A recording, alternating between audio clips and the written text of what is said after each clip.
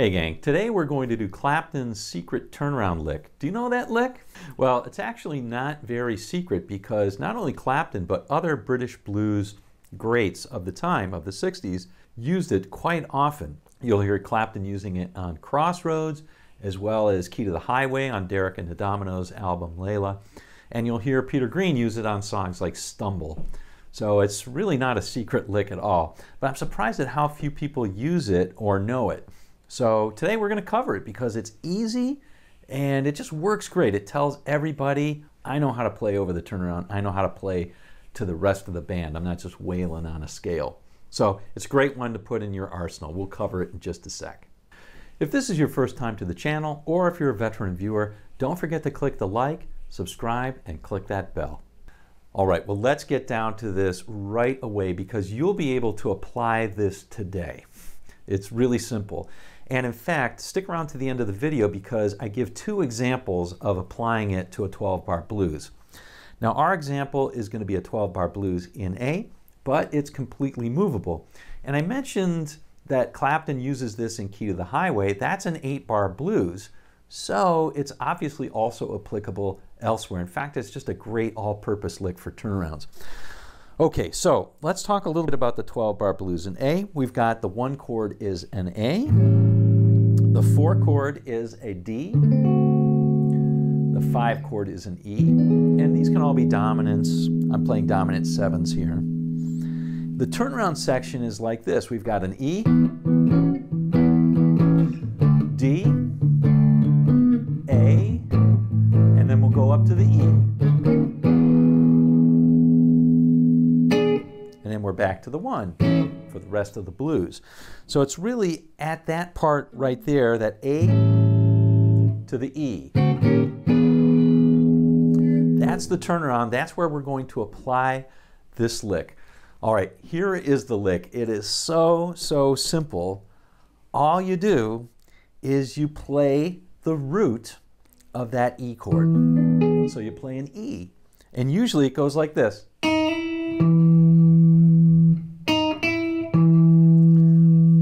That's pretty much the simplest one. So it kind of sounds like this.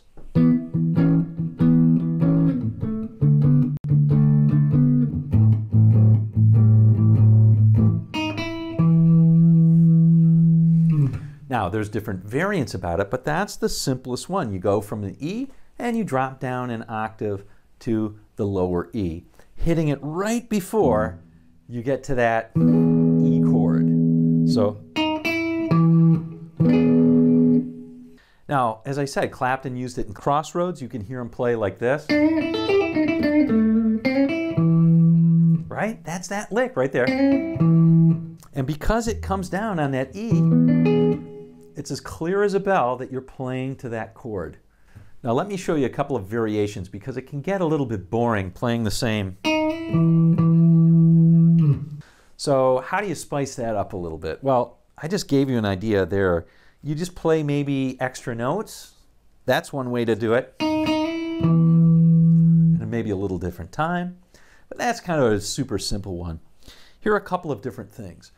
I have found that this lick is particularly powerful if you use the notes of the A chord to get to the E. I'll show you what I mean. So if we finger the notes of an A chord, find that we have an E in it here and here. So I can go down descending the notes of an A chord when I go from this E to this low E. That's an example of using this. Likewise, I can do, I can skip notes too. That's kind of cool, or that's kind of different too. So you'll notice I didn't have to use all the notes of the A chord, I could just use a couple. Works great. Here's one of Clapton's favorites. In fact, he uses it in Crossroads. Go from the minor third of the A, which is a C right here, to the major third of an A, up to the E, and then down. So, like so. Oh yeah, that is, that's a good one. And you can combine those two effects at all. Sounds good. The key is to hit that E at the right time. one last way I'll tell you how to do it, and that is to change up where you hit it. These aren't the only two E's on the entire fretboard. I've got this, I've got this, I've got this. You know, I've got lots of E's all over the place, and so I can use this one. For example, I can go from this E to this E. That works right there. Or how about this? That works as well. I use the trick of going down an A chord. Here's an A chord right here. Right, that's an A. So, or all of those are fair game. So now I'm going to do a demo and I'll show you actually in a 12 bar blues two different ways you can do that. First I'm going to try and use just the standard right there and then I'll try and do it up here as well.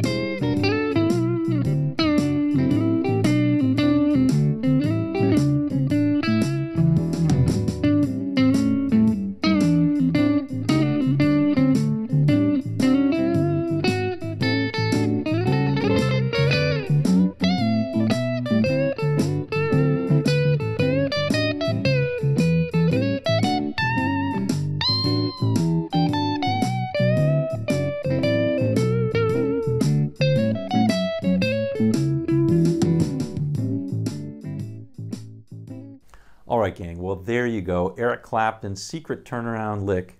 Now it's no longer a secret to you.